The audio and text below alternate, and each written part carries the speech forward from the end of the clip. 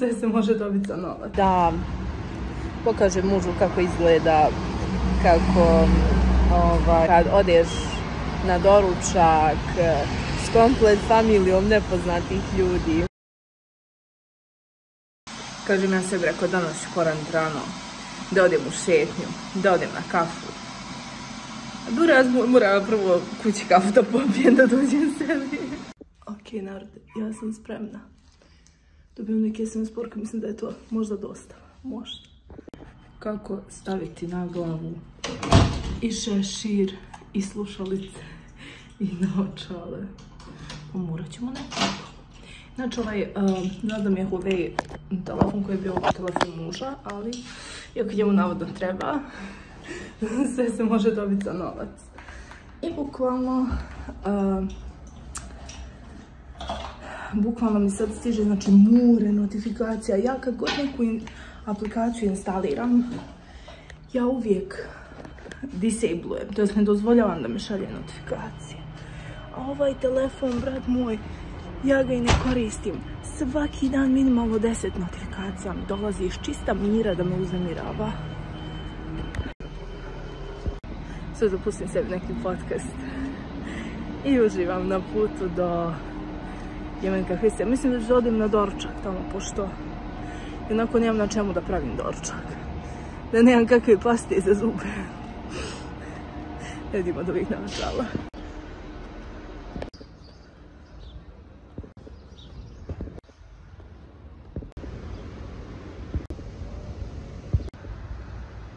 Arde, ja sam se usafunjala dok sam došla ovdje.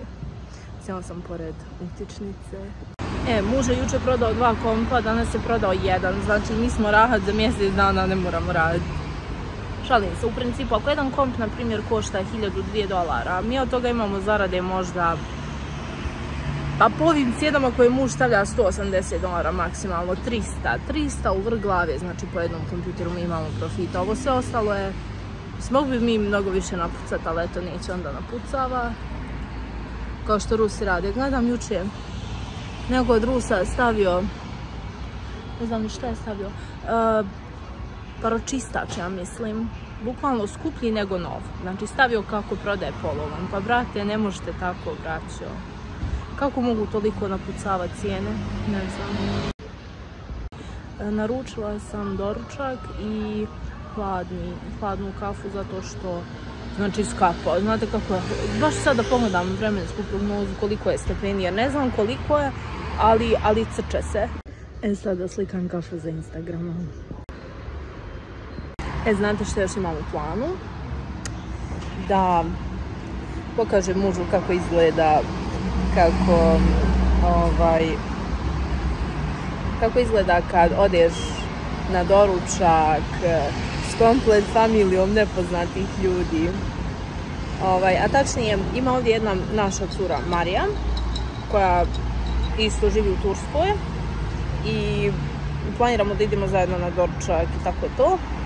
Tako da, mislim na kafu smo htjele, ali a, pošto on već ima djecu i to, mislim ono gdje će ostaviti djecu i tako to meni nekako udobnije bi bilo da povede sve njih. Onda sad razumijem, na primjer, ako ste porodice, imate djecu i muža, logično da idete se zajedno na dočak. Neću ja ići sad posebno s njom na kafu.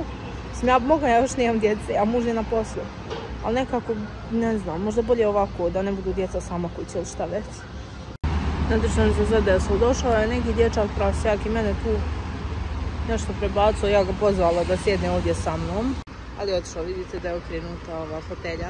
I ovdje, ovaj, prvo mi je tražio kao gladan sam. U ruku sjedu ovdje sa mnom, ja naručao dorčak. Međutim, treba 100 godina da dođe dorčak i onda ja sam mu dala nešto novca. I kao, on pita da li mogu da uzmem da pijem.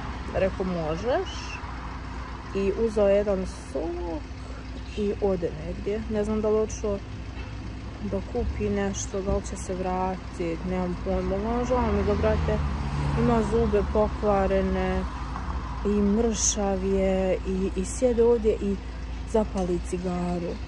A fazon je da nije zapalio cigaru, nego zapalio neku kao ostatak, kao opušak od cigare. O Bože, ne znam, nekako mi to sve malo me potreslo. Mislim, ono, došlo me da ga pitam sina što pušiš, ali ono, ne znam kako, to, mislim, šta ga ja imam pitat što puši. To je valjda u njegovoj porodici normalno, ako ima porodicu, ne znam, brate, to je sve tako tužno.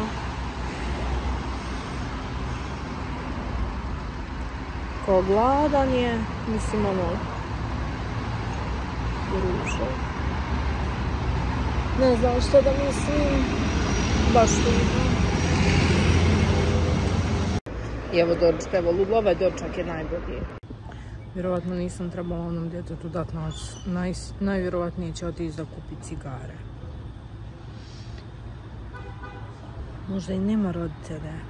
Možda roditelji smatraju da je normalno da djeca zna. Moj doručak je gotov.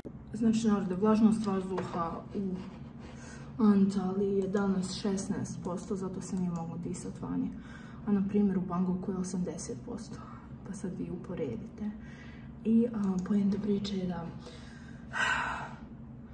da kad je velika vlažnost vazduha vi ovdje je 40 u kući, ako bude spalo ispod 40 ja ću upaliti ovaj uvlažnjivač vazduha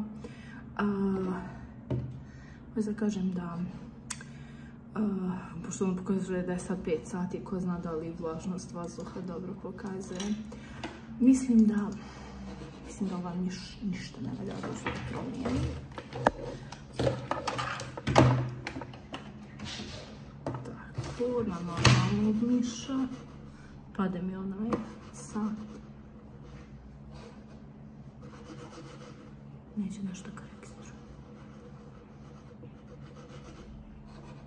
Morat ću onda da izadim. Če mužu biti što radi. Stvarno ovaj miš ne valja. Dobro došao u rubriku što smo kupili u supermarketu standardni labne sir ko namaz. Lepovojan ovdje, kod nas ubos ne mislim da je skuplji.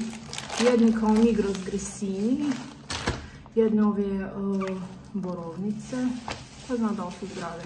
Jednu najbolju kafu svih vremena u Turskoj Mehmed Efendi, jednu malu mlijeko i jednu lubenicu malu, ne mogu je sad podzati torbu. Eto, to je otprilike. Ovo supermarketa. Eto nam je bukvalno živno, super se osjeća, skače, hoće da se igra, mazi, divno. Svaki dan pio ove neke tablete, ovo su antibiotici. I još mu muž pršće u usta sprej. To je kao immunity booster. Kao ne znam, ja zračanje imunitetu, to mu, to mu sve muž, znači nema, teorije. Znači, meni neko da kaže, Blažo, daj cuki, tabletu ili sprej. Znači, znate šta bi bilo? Ja bi rekao, rekao, buraz moj mante me čorava posla. ovaj, ne bi mogla, to jest nije da ne bi mogla, nego neće, ne, mogu ja njemu otvoriti usta, muž može. Muž njemu i ubaci mu. Mislim, nasilu, ali šta ćeš, to je lijek, moraš lijek nasilu. I djeci se lijek nasilu. Da, kad moraš, moraš. E, braću draga, nisam pričala kako sam jutro skapala od bilo je očigledno na meni. Vlažnost vazduha je 16%, znači to je bukvalno jako suh vazduh i onda se čudite što nemate kiselnika. Sad nešto gledam, ovo je bukvalno sezona paklenih vrućina, znači sredina jula, pa da, logično, znači vrijeme kad temperatura, and some seconds, Vrijeme kad temperatura prelazi 40 stepeni, kad je more već toplo, kad sve ostalo. I ja sam još nešto razmišljala, Buraz mu rekao, onaj moj uh, uživo u životu challenge,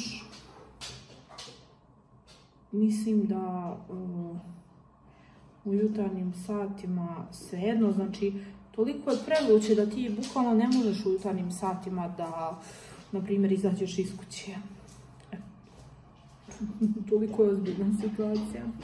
Ja sad nešto gledam na ovaj kalendar. Znači, pokazuje mi e, temperaturu, da vam pokažem. Ovo je taj kalendar i on pokazuje ovdje, znači, ovo sam pakleni dan i ovo gdje je sunce, to je kao normala.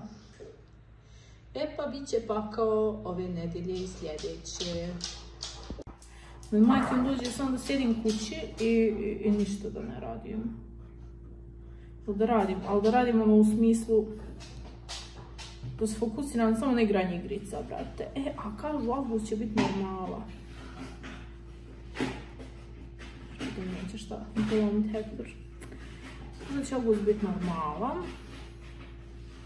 Tako da, ove i naredne sedmice je pakao. Što znači da meni bolje da ja radim nego da ja ne radim. A to znači da ću da stavim još časova u ove dane. Znači, odlažem uživo život challenge na, nakon dvije nedelje. Šalim se ne uživo život challenge, nego e, ovu praksu da mm, ujutro radim satima idem u šetnju i na kafu i da sve to radim, znači to ćemo morati da odložimo do 25. jula. Jer po ovoj vremenskoj prognozi čovjek može samo sjediti kući i gleda televizor. I gleda turske serije. Pa znaš što ću raditi. Tako da ovo sad sve 17, 18, 19. Uje sam ja natrpala posla. Ali ajme dragi. Malo sam pretjerala. Od 10 u subotu, petak od 11 može. Do 25. će da bude pakao. Jel tako izgleda? Da. A tamo mi je do 25. ok. Samo imam jedan četvrtak što sam stala da radim ranije. To nije loš ovaj moj raspored. Ne znam, zato što sad nedjelja, ponedjeljak, utorak, će da bude pakleno. A znate što je najjače? Naprimjer, ako odete da sjednete u ovaj uh, kahve, kako se zove? Jemen kahvesi. Vi bukvalno uh, crknete zato što nema čak ni klimu tamo, znači bukvalno samo otvoreni prozor, pa pomrete od vrućine ko vas šiša. Ne znam je li u nije sigurno u Sim Jemen kahvesi takva situacija. Je, ne znam šta da mislim. Uglavnom da ću, neću da raditi od jutarnjih sati. Ili hoću, pokušat ću. Nedjelja za doručak, ponedjeljak i utorak i onako mnogo radim se i da ne radim od 9 ujutro. Sljedeće sedmice. Pa da, kako ovako natrpam dosta časova. Never mind. Uglavnom, danas baš radim. Danas radim 8 sati. I... Kao zombi sam, ne mogu se uopšte skoncentrisati do duše. Igram igrica pa mi je lakše, ali recimo ovi individualne času što imala s vjetnamicima malo. Moram se imati pa sat vremena dnevno, ako nešto malo baš. Sat i pol danas. Bukvalno na laptopu jednom a, radila, a ovdje na ovom velikom ekranu na stacionarnom kompjuteru sam scrollala tipa internet prodavnice. Gledam neki još namještaj, gledam neke stvari i gluposti. Tako da... Morat ću još neke stvari da naručimo, nemam para. Just imam? Nemam. Nemam. Investirala sam manje od pola plate, zato što sam iz onog fonda uh, što sam ga bila kao stavila kao tipa da imam kao rezervni fond i tako je to. Iz tog fonda sam novac potrošila za elektronsku knjigu jer sam pomislila da će mi pomoći kod insomnije. Međutim, ova dva dana sam normala. Što mi bodi raste. Ova dva dana sam normala, znači manje više mogu zaspati. Ne znam šta je fazon. Ali sam kao zombi jer radim cijeli dan, jer je vruće, jer sam pospana, baš sam kao zombi. Znači danas sam ove cijele nedelje sam u zombi fazonu, ali evo kao od, sad ću vam reći, od 25. jula će biti podnošljivija temperatura, ali ja vidim ovdje da će i septembar da bude oko 30 stepeni. To je ovdje septembar kao kod nas recimo avgust, kraja septembra se neće puno spuštati temperatura, bar će ova noćna da bude 18-19, što je faktički podnošljivo. Pa je sad, ja nešto ne gledam ove vremensku prognozu, ja nikad ne gledam. Da, sad je noćna temperatura pod 31. Noć će biti plus 31. Noću, a danju 41. Samo šed moj Remi. Češ da izađeš? Niješ na ovaj pakao Remi ako hoćeš da... Što ću WC? Ma kako mi je divan, kako mi je aktivan, kako mi je aktivan Remi ovih dana. Ozdjavio momak. Jesi ozdjavio? Hoćeš da me poljubiš, nećeš? Voliš li me, Hektore? Yes or no? Joj, ovih dlaka, braćo, moram sad uzeti u sat. Znači imam sat i pol, sat i pol, ja već pričam sat. Imam sat i vremena pauze. Tako da sad da usisam. Suđe i nemam dobro do duže dočkova sam jutro su Dunjasiju. Ja sam sad ovo nešto sad će sa stolom već da poskne. Imam, mislim, jedan tanjer i dvije šulje za opre. E, sad da popijem jedan e, menenđe kafe. Znači, ja popijem dvije kafe dnevno, normalne. Znači, popila sam danas jedan ledeni, vidjeli ste, ledeni latte. Popila sam jednu običnu kafu jutarnjim satima i sad, uh, ja mislim drugi menenđek pijem. Menenđek nema kofeina, ima malo šećera i kremasija što nije zdravo, ali nema puno. Nema kao ni supermarketa, oni supermarketa 75% ima nekog kremasija, to jest neke hemije koja u, kao mlijeko u prahu, a ostalo im je kao tipa menenđika, nema ni 20%. Ovdje bar ima 70% pravo menenđika, što me tješi. Tako da sad da popijem jedan menenđik i onda idem, samo da zavirim koliko je sati. E, da, i onda imam sat vremena za jedno lagano usavanje, kupljenje smeće, to načuvala sam sebi dnevnu rutinu da čistim. Ne mogu reći da mi je kuća čista, ali ne mogu reći da je u haosu kakva je bila. Znači, kuća je u normalnom stanju.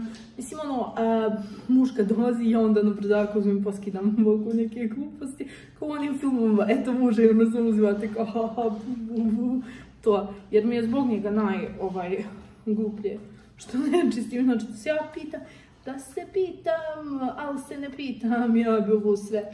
A ne znam, nekako se i ja e, ljepše osjećam kad je sve fino uređeno i to. Eto. Malo sam kao zombi, ali nemam pospanosti danas. Obično imam ovu praksu da spavam od 4 do 6 popodne, ali sad ne.